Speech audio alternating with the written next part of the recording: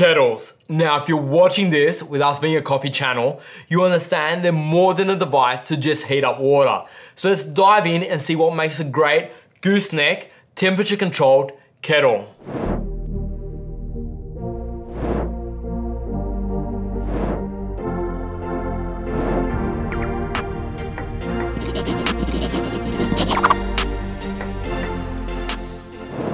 Only a few years ago, if you're looking for a gooseneck temperature controlled kettle for your cafe or your home, there was only one real option on the market, being the Bonavita.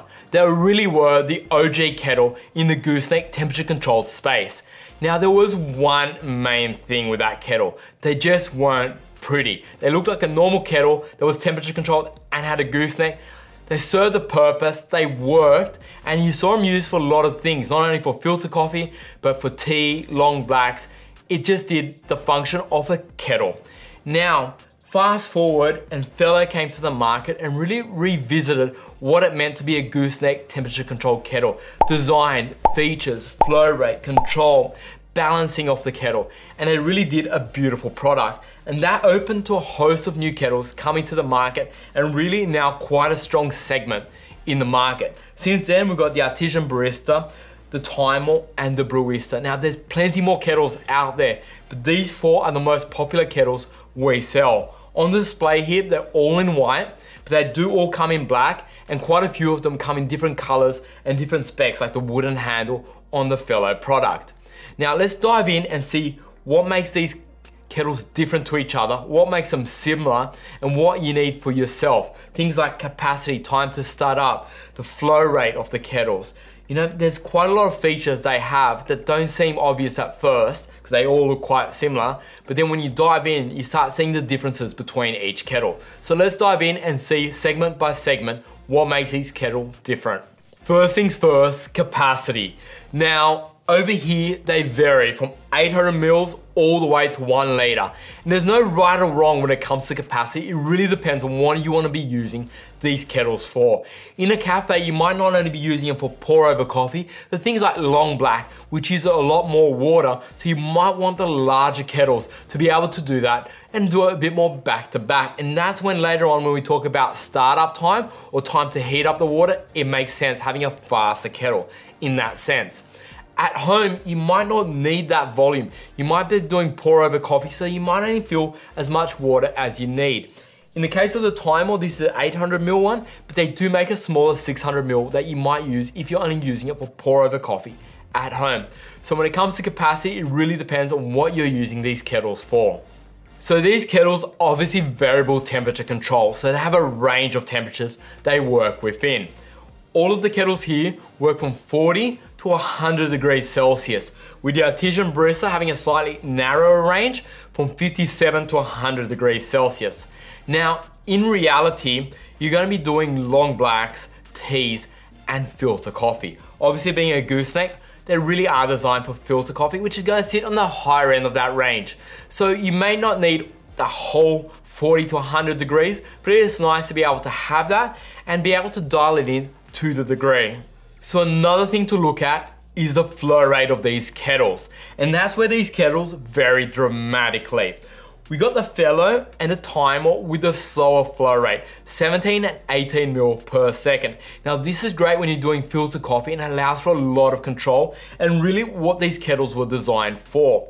On the flip side, you have the Brewista, which has a faster flow rate. And this helps if you're doing a lot of long blacks or teas, you can really get the water in there nice and quick.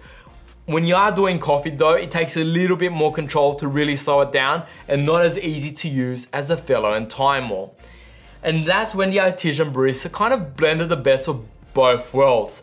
Naturally, it comes with quite a fast flow rate, but it comes with two restrictors that you can put in. So with one restrictor, you can bring it down to a very similar speed to the Timemore on the Fellow, and with the other restrictor, you can really slow it right down. Obviously, if you're slowing it down, great for coffee, but harder to fill up a cup for say long black. So it really depends on what application you're using these kettles for. It is nice that Artisan Barista gives you that flexibility, Obviously with the Fellow and Timemore, they're really designed with a main focus being filter coffee. And the Brewista is kind of designed to be a bit of everything, I guess. Now another thing to look at is the weight of the kettles. Now, traditionally, heavier weight normally signifies a better build, better material, quality product. But when it comes to these kettles, you are holding these kettles up with water inside them.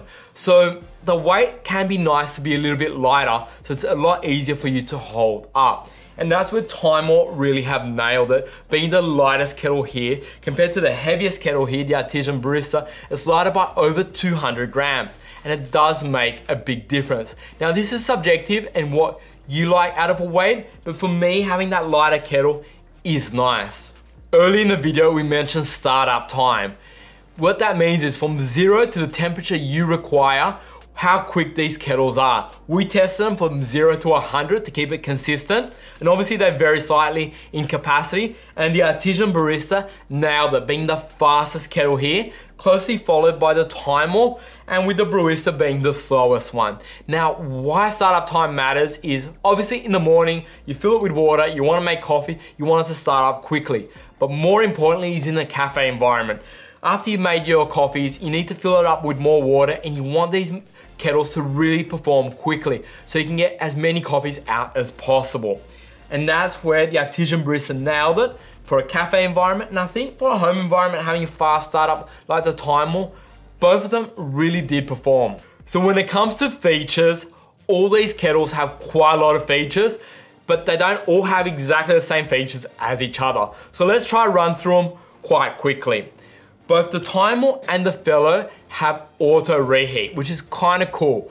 Once it gets to a set temperature, you're doing your pour over, every time you put in that kettle back on the base, there's lost a degree or two, it's gonna auto reheat back to that set point, keeping it super consistent. Both the Artisan Barista and the Timemore have a thing called fast boil. So when you put them in, you press that one button and it gets to boiling point as fast as possible. Now both the Brewista and the Fellow have inbuilt timers. Now, generally speaking, when you're doing pour over, you might be using a coffee, or you should be using a coffee scale, but depending on what feature you have on that scale, you might lose the timer functionality. So it's nice that you can use these and see the timer on them. And one last feature that only the Timemore has is the anti-boil dry. So even if you run out of water, you're never gonna damage the kettle. And I find that kind of cool, especially when I'm half asleep in the morning. So which of these kettles is best for you? When it comes to choosing, it really depends on what you want from a kettle and where you're gonna be using these kettles. So say at home versus a cafe, predominantly for filter coffee or for multiple applications. Now in a home sense, predominantly for filter coffee, you're really looking at something like the Fellow the Timemore. Beautiful design, a lot of control, slow flow rate, and really nice features. For a cafe environment where you want to do a lot of, say, long blacks and teas, and you are doing some filter coffee, the Artisan Barista offers a really nice balance, super fast startup, and you can different flow rates depending on if you're leaving the kettle as is or putting a restrictor. Obviously the Brewista had the fastest flow rate. So if you just want to use it for, say, long blacks, it really is available to just pour out really quickly. So it really depends on what you want out of a kettle. For me personally, I'm a sucker for design.